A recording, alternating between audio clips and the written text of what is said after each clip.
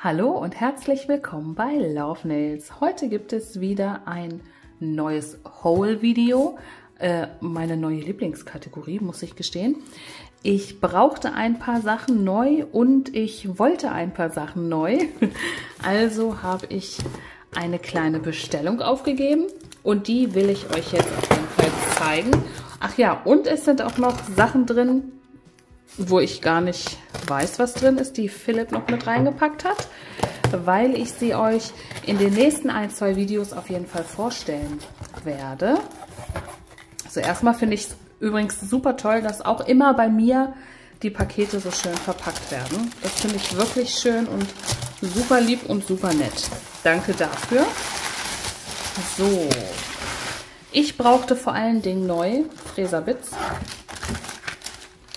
Da äh, musste ich mir auf jeden Fall neuen äh, Nachschub besorgen. Und zwar einmal den zum Abtragen der Gesamtmodellage. Dann wollte ich gerne mal testen, ähm, ob Fullcover-Tipps sich besser von unten befräsen lassen mit einem Keramikbit. Das ist also ein persönlicher Test, den ich mal machen wollte. Und unbedingt einen neuen Nagelhautbit brauchte ich auch. Und auch neue Bürstchen und so ein Polierdingens für die Nagelhaut. Dann habe ich gleich das gesamte Set genommen, denn auch diese Bits, die kann man immer gebrauchen. Dann brauchte ich unbedingt neue Klebchen. Damit befestige ich immer meine äh, Design-Tipps auf den Halterungen. Das hält wunderbar und klappt richtig gut. Ach Gott, dann habe ich, ich habe auch eine Gelprobe bekommen. Was habe ich denn gekriegt? Apple Blossom und Lemon Fizz. Also äh, Glitzerfarbgele. Sehr nett, Dankeschön. Und natürlich habe auch ich so ein nettes Kärtchen dabei. Vielen Dank für deine Bestellung. Und dann waren meine Neongele leer. Also ich muss die wohl letztes Jahr gesoffen haben. Die waren einfach leer. Die brauchte ich also auch auf jeden Fall wieder neu. Dann habe ich mir dreimal das kleine Einphasengel bestellt. Und zwar möchte ich gerne ähm, ja, mir mal so ein, zwei Effektaufbaugele daraus machen. Daraus kann ich auch gerne dann mal ein Video machen, weil das bestimmt äh, eine interessante Spielerei ist. Ich habe mir übrigens auch schon hier den Daumen vorbereitet für eventuelle Tests. Ein neues Base Gel brauchte ich ganz, ganz dringend. Das brauche ich sowieso immer mal. Äh, sowohl für nasse Nass als auch wenn äh, zum Beispiel, wenn ich Farben mischen muss oder so, dann verwende ich jetzt immer noch Base Gel, ein neues Bürstchen, neue Spotties. Die, die ich habe, sind, glaube ich, schon drei Millionen Jahre alt. Die mussten auch ganz dringend mal ausgetauscht werden. Stamper. Stamper brauche ich immer. Das ist nämlich äh, auch so ein, ich weiß nicht, wie es bei euch ist, aber bei mir sind Stamper fast so wie Verschleißartikel. Denn ich finde immer irgendwelche Möglichkeiten, entweder mein Stempelkissen kaputt zu machen oder es mit Glitzer und Pigment zu beschmieren oder ähm, ich komme mit Nagellackentferner oder noch schlimmer mit Aceton an diese Ränder hier.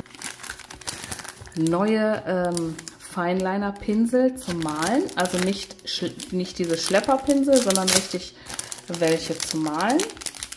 Und da war mir eben besonders wichtig, dass ich welche mit Kappe habe, dass mir die nicht wieder aushärten, wie mir das schon das ein oder andere Mal passiert ist. Und das sind hier verschiedene Größen, Schattieren und für etwas ähm, gröbere Zeichnungen und hier für feinere Zeichnungen. Und ganz wichtig, ich weiß nicht, ob ich es schon mal gezeigt habe, was man machen sollte, bevor man einen Pinsel überhaupt benutzt. Hier ist so Gummi Arabicum nennt sich das. Das muss man erstmal aus dem Pinsel entfernen. Das sitzt meistens hier hinten in der Zwinge und vorne in den Pinselspitzen. Das muss man erstmal so ein bisschen rausmachen, bevor man den Pinsel überhaupt benutzt. Das mache ich meistens mit den Fingern und dann mache ich einmal ein bisschen cleaner auf eine Zillette und ziehe den Pinsel dadurch und dann kann man den eigentlich gut benutzen. Ihr könnt es immer ganz gut sehen, ob ihr alles entfernt habt. Wenn ihr den Pinsel vor eine Lampe haltet, vorsichtig mit dem Fingernagel so daran geht und wenn es nicht mehr staubt, dann habt ihr alles soweit entfernt. So, jetzt setze ich aber erstmal die Deckel wieder drauf. Ach, guckt mal, die passen auch nicht Das ist der. Ist sowieso immer der letzte, ne? den man noch probiert. Und dann müsste der... Ah, da. Alles klar. So war es richtig. so, was habe ich noch? Ich weiß schon teilweise gar nicht mehr. Was noch? Ach ja, haha. Einen neuen Full-Cover-Pinsel habe ich mir auch geholt. Da muss ich zugeben, der war jetzt nicht unbedingt ein Muss, der war jetzt eher ein Ich will, weil ich den so cool fand. Habt ihr den schon gesehen im Shop? Mit Leo-Muster, ist ja voll mein Ding. Aber allerdings, was ich an dem auch richtig cool fand, weil der so schön kurz ist. Ich mag zum Modellieren einfach lieber die kurzen Pinsel und da ist der, erscheint mir ideal. Der ist auch richtig schön fest. Boah, das war nicht nur optisch ein Glücksgriff, den kannte ich nämlich auch noch gar nicht. So, der wird auch beim Modellieren ein Glücksgriff sein. Sehr gut. Und auch wieder mit Deckel, das ist mir wirklich sehr, sehr wichtig. Eine neue Pinzette, die braucht man immer mal, um Sticker und Tattoos und so weiter runter zu friemeln. Neuen Remover. Den benutze ich in der Not auch immer mal als Nagellackentferner. Aber pst. Eine kleine Mini-Feile für den Schlüssel. Und ah, eine meiner liebsten, aller, allerliebsten Spielereien, das sind diese Einleger. Die finde ich ja sowas von toll. Und ich brauchte auch unbedingt neue Muscheln jetzt für so diverse Sommerdesigns. Ähm, und der Rest gefällt mir halt auch immer sehr gut. Also wurde es gleich die gesamte Box. Sehr schön, da fällt mir auf jeden Fall wieder einiges mit ein. Und was haben wir hier? Das weiß ich gar nicht, was das ist. Ach ja, neues Dappendisch. Ich habe meins leider ein bisschen zerdeppert. So. Das ist immer besonders gut, wenn man nur so kleine Mengen braucht. Äh, egal von Liquid, Remover oder auch Cleaner ist das immer perfekt. Das kann man schön nebenbei hinstellen und verschließen. Das ist sehr, sehr gut. So, und damit ihr auch noch was zu gucken habt, werde ich euch jetzt nochmal alle Neongele auftragen und ich werde mir eine neue Farbe oder vielleicht sogar zwei neue Neonfarben daraus mischen. Und wir fangen jetzt einfach mal an mit Gelb. Hoppala, ich habe sie mir hier schon geöffnet, damit das nicht noch länger dauert.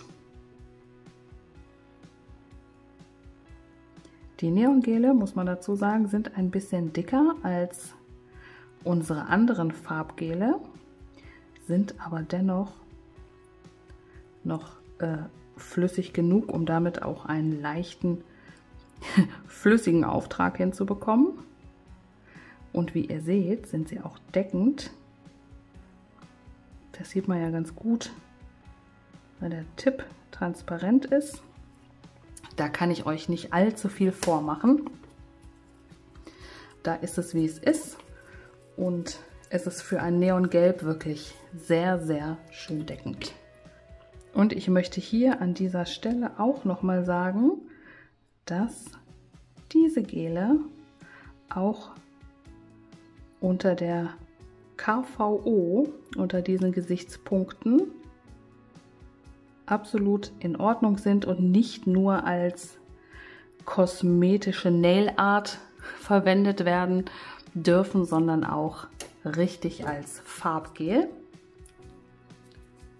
Und so wie alle unsere ja, neueren Gele sind auch diese wieder HEMA-frei. Für alle die, die es letztes Jahr nicht mitbekommen haben, wollte ich das jetzt noch einfach nochmal erwähnen.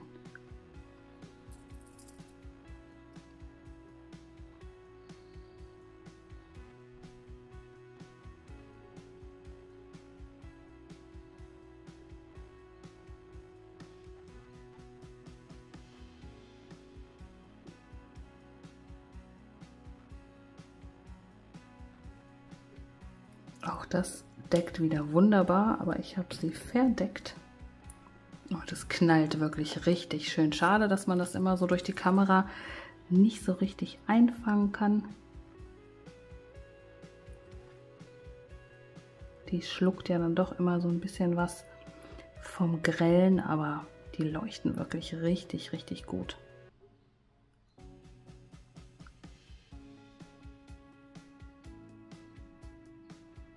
Und was sie auch tun, was für mich auch immer sehr wichtig ist bei einem Farbgel, also vor allen Dingen bei Farbgelen, dass sie sich selber glatt ziehen. Also ich bin ganz ehrlich, bei Aufbaugelen ist mir das gar nicht so wichtig, weil da kann man feilen, da ist das super, da ist das gar kein Problem. Aber wenn man bei Farbgelen nochmal feilen muss, ist das wirklich immer ärgerlich, weil man sich da nämlich auch immer äh, Farbe wegfeilt. Und deswegen finde ich es ganz wichtig, dass sich Farbgele selber glatt ziehen. Ich weiß nicht, wie ihr das seht. Ist euch das genauso wichtig oder habt ihr da noch gar nicht so drauf geachtet? Also für mich ist das immer ein K.O.-Kriterium, wenn sich ein Farbgel nicht eigenständig glatt zieht oder zumindest nicht gut glatt zieht. Ich hatte übrigens ganz vergessen, die Nägel mal auszuhärten. Sollte man dann zwischendurch mal machen, bevor ein blöder Unfall passiert. So, jetzt sind wir bei Rot. Oh, Rot schreit mich förmlich an aus dem Tiegel. So. Und ich habe immer so die Angewohnheit, dass ich bei Farbgelen eigentlich immer so oben anfange und das so schwebend immer auftrage. Das ist aber eigentlich gar nicht nötig, weil die Farben wirklich so deckend sind. Aber ich habe mir das vor ein paar Jahren einfach mal angewöhnt, angewohnt, nee, angewöhnt und habe das jetzt so beibehalten. Auch eine wirklich, wirklich, wirklich richtige Neonfarbe. Und als letztes kommt noch Pink. So, die beiden gehen dann zusammen nochmal unter die Lampe.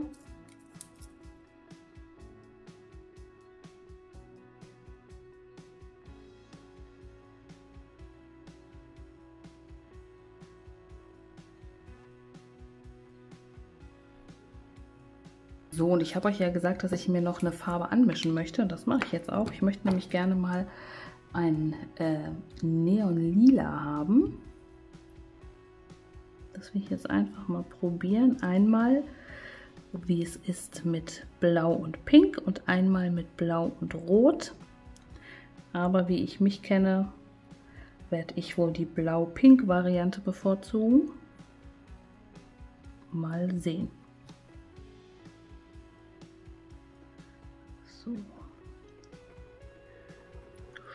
Schauen wir mal. Oh, das gefällt mir schon mal ganz gut.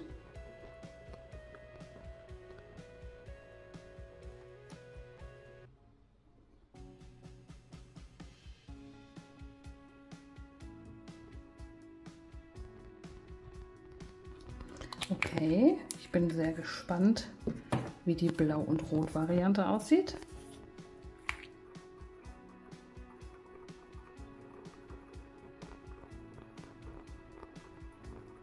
Okay, das ist auf jeden Fall zu viel Rot und jetzt ist auch leider nichts mehr von dem Neon-Effekt zu sehen.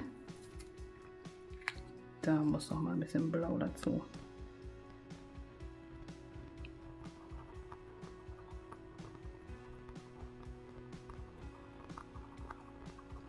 Also ich sehe jetzt schon, nein, blau und pink ist es. Hier brauche ich gar nicht weiter mischen. Ganz, ganz klar und ganz eindeutig.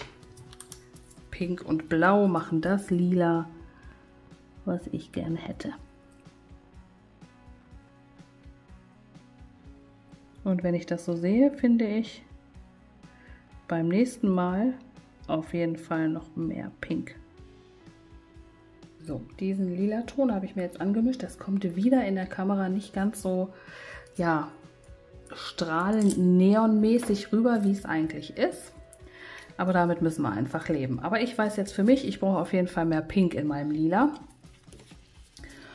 Und dann werde ich das einfach beim nächsten Mal, beim nächsten Mal anmischen, etwas beherzigen. So, ich bedanke mich bei euch fürs Zusehen und ich freue mich aufs nächste Video. Bis zum nächsten Mal. Tschüss.